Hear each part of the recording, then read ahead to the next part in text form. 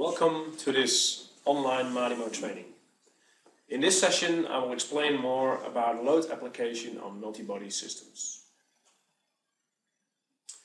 Once you have defined your multi-body system and you have applied your initial conditions and your kinematic and dynamic constraints, you may want to apply external loads to your multi-body system.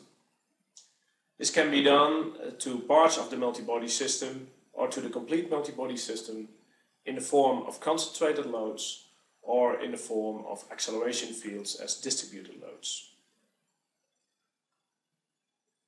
First I will explain how you can apply concentrated loads on a multi-body system. With the element actuator body, you can apply a concentrated load to a single body. You can do that uh, by defining the point of application and the direction with respect to global or a local coordinate system. And you can apply the magnitude of the force uh, in a control system uh, using signal element. With the option actuator body rel, you can define uh, two forces on two bodies and it works similar as actuator body with the only difference that now with the two forces you define an action and a reaction force. Distributed loads can be defined in the form of acceleration fields. Acceleration fields can be defined in MADYMO on a list of bodies or on a complete MADYMO system. The latter you can do with load system ACC.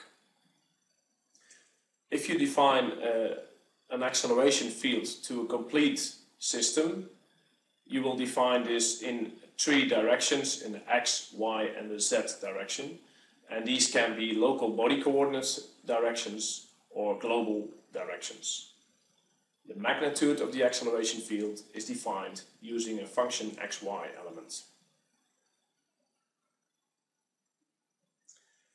Acceleration fields to complete systems are often used to define vehicle crash pulses on occupants or vehicle interior and restraint systems.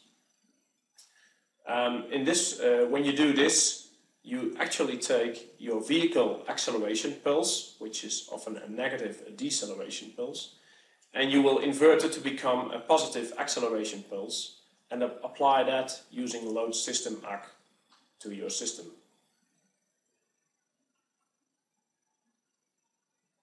When you do this, uh, you have to take care of your output definition. If you define accelerometer output in your uh, MADYMO model, uh, you will do this with output body.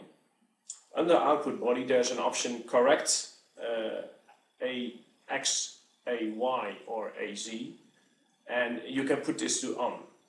When you put this correct option to on, the accelerometer will not sense the artificial acceleration field. In our multi-body MADYMO models, this option is already uh, included in the accelerometer output. This brings us to the end of this session. Thanks for your attention.